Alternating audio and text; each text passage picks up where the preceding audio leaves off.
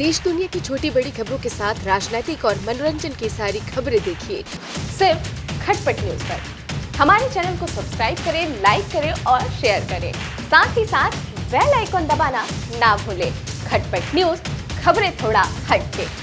सूरजपुर के जिला अस्पताल में जलपरी की तरह दिखने वाले एक नवजात के जन्म के बाद उस बच्चे को नहीं बचाया जा सका। लेकिन सोशल मीडिया में नवजात की तस्वीर देख लोग उसे जलपरी बताकर उसके नहीं बचने की खबर मिलते ही अफसोस करते नज़र आए।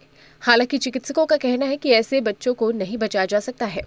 ऐसे बीमारी के लक्षण एक लाख में एक बच्चे को होने की संभावना होती है, जिसके लिए पाँच, छह महीने पहले ही सोनोग्राफी से बच्चे के लक्षण का पता चल जाता है। ऐसे बच्चों के लिए गर्भ में ही शुरू से मेडिकल चेकअप की आवश्यकता होती है। दरअसल जिला अस्पताल में बुधवार की रात एक गर्भवती महिला ने एक नवजात को जन्म दिया था। जिसके दोनों पैर आपस में जुड़े हुए थे, वहीं मलमूत्र के रास्ते भी नहीं थे। ऐसे में महज दो घंटे में ही नवजात ने दम तोड़ दिया।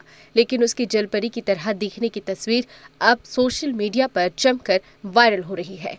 Bureau report, Khatpat news.